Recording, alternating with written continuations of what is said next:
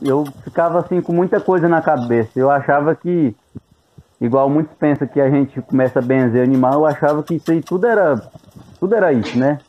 Eu achava que o animal não era capaz, a gente não era capaz de fazer o animal ficar assim. Olha aí, que coisa maravilhosa, né?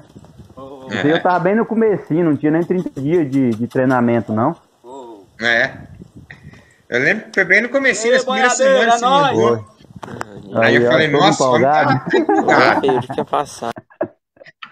Tinha Não, um é- colega meu junto filmando aí.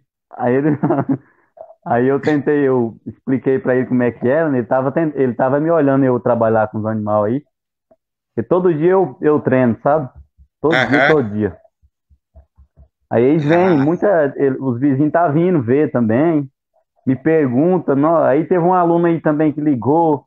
Nossa, eu fiquei empolgado demais, me senti realizado. É.